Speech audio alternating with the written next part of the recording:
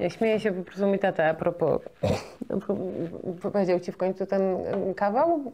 Nie wiem, O, zawsze, zaka- zaka- każdy telefon z teściem się kończy jakimś dowcipem, więc Nie, nie, wiem, nie wiem, czy w ogóle to się. No nie, bo po prostu ręce mi opadły, jak to powiedział. I on płakał ze śmiechu, że mam ci to powtórzyć. Ja mówię, wiesz co, jakby To no nie. nie do końca. No.